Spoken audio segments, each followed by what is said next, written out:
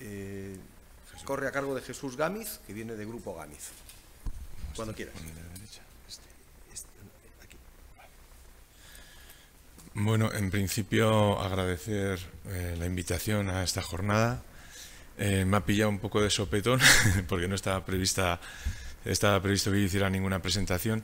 Entonces voy a intentar ser breve y, bueno, y si porque no, me han enviado la presentación, por cierto, y si no controlo mucho me lo perdonaréis, ¿vale? Eh, bueno, Grupo Gami no me voy a extender mucho, lo podéis ver en nuestra web si queréis un poco la historia, es una empresa familiar con aserradero, un poco la tipología que explicó también Susana de Sirolan, pero nosotros estamos más en la especialidad en concreto del roble ¿eh? y frondosa europea. Bueno, esto es un eslogan de buena madera, un poquito la presentación Grupo Gami, Producto, Sostenibilidad. El Grupo Gami son cuatro empresas, bueno, tampoco voy a ahondar en ello, serrería, he elaborado un poco de todos los que son laminados encolados, luego tema de instaladora de parques y una comercializadora. Esto es un poco el histórico, bueno, data del 42, cómo empezamos simplemente, bueno, pues un tema, estuvieron con la extracción de carbones, aserradero, eh, fábrica de parqués, fábrica de paneles macizos, para industria de cocina, para industria del mueble, que todo eso también ha desaparecido, y finalmente el paso a, ir un poco al tema de los productos laminados. ¿eh? Bueno, eso es un poco las cifras. Prácticamente lo que es en elaborados y fabricados Gamiz, el 95%, como veis ahí, está dirigido a exportación y más después de toda la crisis pues, que ha habido aquí en España, con mucho más motivo. Y aparte que normalmente somos una empresa que vamos a producto de valor y con fabricación no, no de alta producción, de alta productividad. O sea, mucho más a producto ya eh, bastante especial y, y, bueno, y acomodado también a certificaciones y a todos los cambios que se han producido.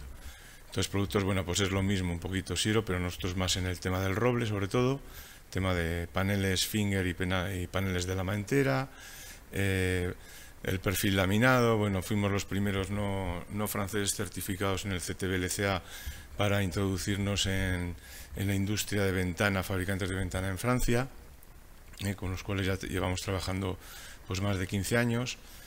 Y luego posteriormente viga laminada, en donde bueno, está el marcado C. Bueno, primero estuvimos con el Dutch Institute of Technique, en el 2012 y ya en el 2013 tuvimos el marcado C estructural en roble. Fuimos la primera empresa en obtenerlo en el mundo y posteriormente, aunque aquí no aparece, sí que tenemos también la certificación C estructural para el pino radiata del País Vasco, únicamente para una aplicación ligada al muro cortina, porque el pino radiata en el País Vasco, dentro de lo que es sus características, pues es un tema de saneamiento, no tiene grandes dimensiones y va dirigido un poquito a los perfiles pues, más reducidos como para la aplicación esta de muro cortina. Bueno, ahí están los certificados, marcado C, el autograph. ¿eh? Y luego aquí tenemos también, ¿qué es esto? Sí, el marcado C también es lo de Tecnalia, lo que os decía del tema del, del pino. ¿eh? Y luego os voy a presentar también un poquito bueno, lo que es la madera acetilada, Acoya, que somos los distribuidores para España de este producto producto totalmente dirigido al tema prescriptores. Eh, aquí en España ir con un producto de este tipo, pues bueno, todo el tema, todo, bueno, ya sabemos, eh, la principal pega es muy caro, es muy caro, es muy caro y todo es caro. Pero nadie analiza luego también, pues bueno, otro tipo de prestaciones como vida útil, eh, certificados, ensayos de todo tipo, etc, etc. Bueno, ahí veis un poquito los certificados.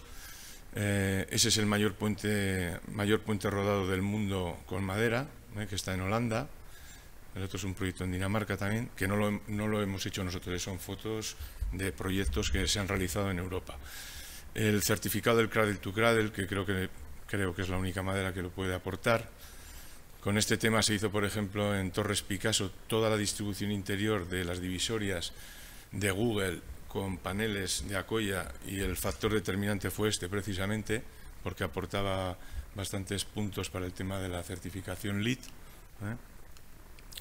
Y bueno, luego el tema sostenibilidad, pues eh, tenemos la certificación PEF y el FSC también.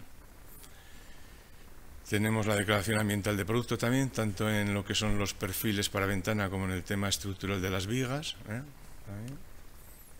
Y luego en imágenes, pues bueno, esto es un proyecto en Holanda, siempre estamos muy en colaboración con empresas. Nosotros no somos la empresa que damos la solución final al arquitecto, pero sí que lo que hacemos es empujar y colaborar eh, desde hace muchos años con empresas con las cuales eh, se puede ir con ellos a cualquier lugar y recomendables.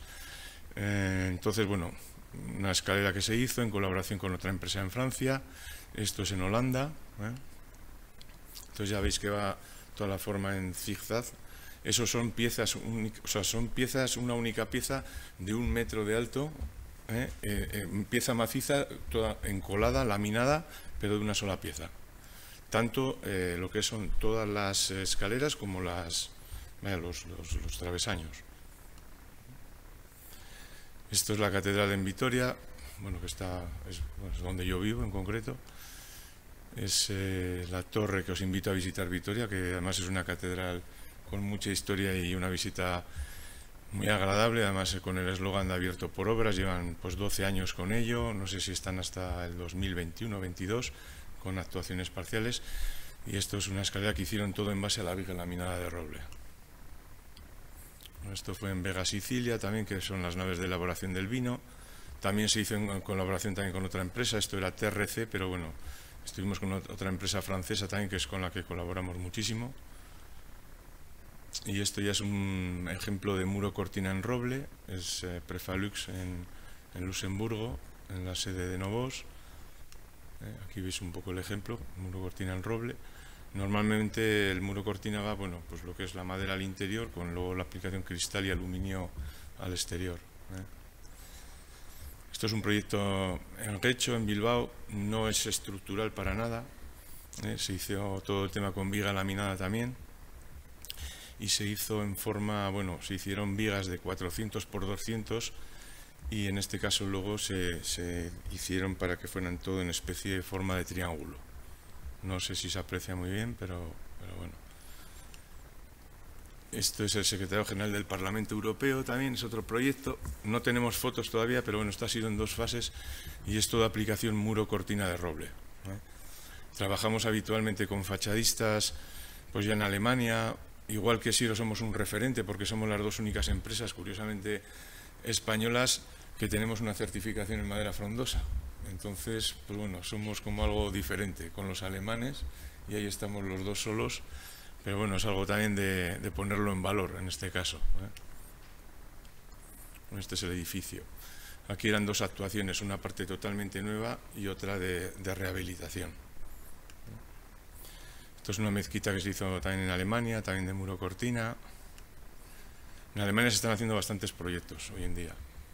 Porque en Alemania incluso a nivel institucional el ayuntamiento, por ejemplo, de Múnich ha determinado que todo edificio público tiene que tener pues, un porcentaje del orden del 40-50% en madera, sea lo que sea. Entonces eso está ayudando mucho a la introducción, en este caso es muro cortina, pero luego van suelos o techos o lo que fuera. ¿eh? Y bueno, aquí igual, pues a ver si van cogiendo también un poquito el ejemplo. Esto es una bodega en Italia. Esto lo hizo bueno, nuestro colaborador habitual Simonín de Francia, que hicieron toda la base con madera laminada de roble también. Esto es un aeropuerto en África, que también es de Simonín, que hicieron ahí esos, esas vigas cilíndricas que veis en madera de Iroko. Y estos, los gymnasiums, son lo que se está haciendo bastante en Múnich, que son eh, como institutos de enseñanza secundaria, que no sé si serán ya ocho, ocho colegios, ocho gimnasios de estos hechos con madera laminada. Esto es un tema también en Francia, esto en su caso fue con muro cortina de pino, ¿eh? con una empresa, un cliente nuestro de ventanas también. Bueno, y esto es Acoya, esto está en nuestro pueblo, concretamente en Santa Cruz de Campezo, un pueblo pequeñito de 900 habitantes donde tenemos la empresa, y esto es la madera cetilada, pero que el arquitecto quiso incluso dejarla en bruto totalmente. Eh, ya veis que hay como marcas de palos incluso, entonces ni, ni se cepilló, bueno, únicamente se cepilló en las zonas de apoyo, pero el resto está como una madera en bruto. Esto tiene garantía por escrito de 50 años, eh, que creo que no sé si eso lo puede dar nadie, Acoya lo puede hacer. Y, y bueno, pues, pues curiosamente algo pues eh, que poner una madera en bruto de esta madera, de esta manera, pues, pues ahí está el resultado también. Esto es lo que os decía de Google en concreto. ¿eh?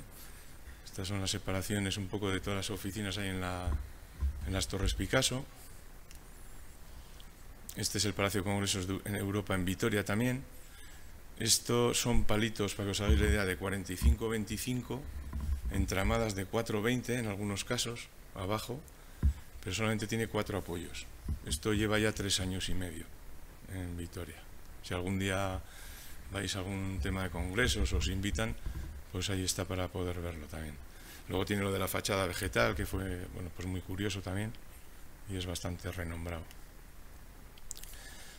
Esto es una comunidad privada muscaria en Zarauz. Son viviendas en las cuales anteriormente había unas balconadas en cedro americano, que, está, que no estaba mal, llevaba 40 años, de un arquitecto bastante famoso, y entonces quiso la comunidad, porque es un emblema.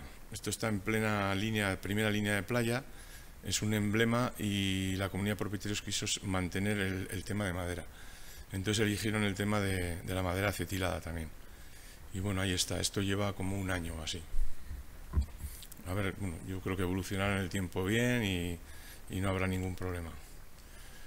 Este es el Oak House en Barcelona también. Esto se ha hecho con, unos arquitectos de Madrid.